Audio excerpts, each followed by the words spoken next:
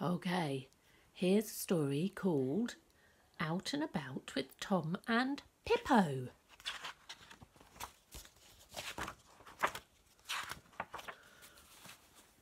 I often take Pippo into the garden. He likes to ride in my wheelbarrow. I take him down the paths and bump him down the steps. Pippo likes to be bumped. When we've had enough, I give him his dinner. Pippo makes a mess when he eats. He gets food all over his face, so I have to wipe him with a flannel. When I hear Mummy calling, I make a little bed for Pippo so he can sleep while I eat my lunch. And after lunch, we want to play. That cat is asleep in my bath, my wheelbarrow, and we have to shoo him out. Then I take Pippo round and round the garden until it's time to go in for tea. One day, Mummy took me to a place where you can play in the sandpit, and I found a lovely bucket. I was just making a sandcastle with the bucket when this little girl came and tried to take it away from me. She said it was her bucket. The little girl's mummy said we should share our toys, but Pippo is mine. I really wanted to play with that bucket, and Pippo wanted to play with it too, so we all played together in the sandpit.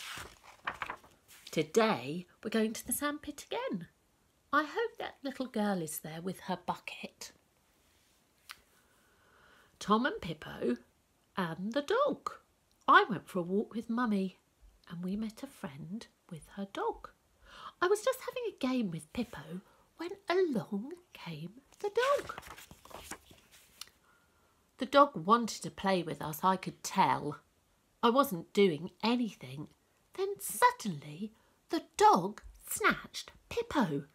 My monkey's gone, I shouted, and we all ran after the dog but he ran very quickly. I thought we would never catch him and Pippo would be gone forever. The lady caught the dog and was cross with him. I was glad to have Pippo back. I think Pippo might have liked being carried off by that dog. Now Tom and Pippo are going out in the snow. One morning it had snowed really hard. Dad bought a sledge there's the sledge, and said we should take it for a trip up the hill. I took Pippo because he wanted to come. We had never been on a sledge before. We took the sledge up the hill.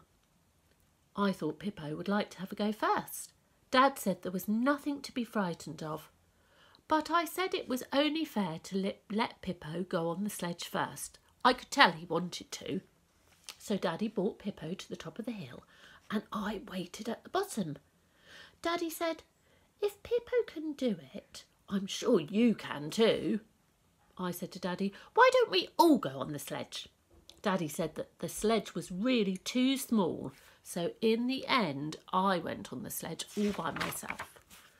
Going on a sledge is really very easy. Pippo and I go on our, go by ourselves all the time. We don't need Daddy. Now Tim and Tom and Pippo are going shopping. Today Mummy and I went shopping. I took Pippo. Pippo likes to go to the shops. I said he would love a little piece of bread, but I ate it. I said Pippo would love a ripe, juicy plum, but I ate it. Pippo wanted just a little piece of cheese from the cheese counter. Mm, but I ate it. We had bought all the shopping and Mummy gave me the money and said I could pay. Mummy had a cup of tea and I had a little drink, but there wasn't enough for Pippo. Anyway, I'll give Pippo some tea when we get home. Now Tom and Pippo are going for a walk. Mummy and I were going for a walk. Mummy said it was very cold outside. It's very cold today and I must wear my hat and scarf and gloves. Pippo wanted to come to, for a walk too. I made him put on his hat and his scarf and I told him he would catch a cold if he didn't. Mummy held Pippo while I went for a run down the hill. Pippo wanted to run with me. Oh, but we fell over. I'm sure Pippo made me run too fast. Mummy put me straight into the bath, but Pippo had to go in the basin. Then Pippo and I sat by the fire and had a warm drink. There we go.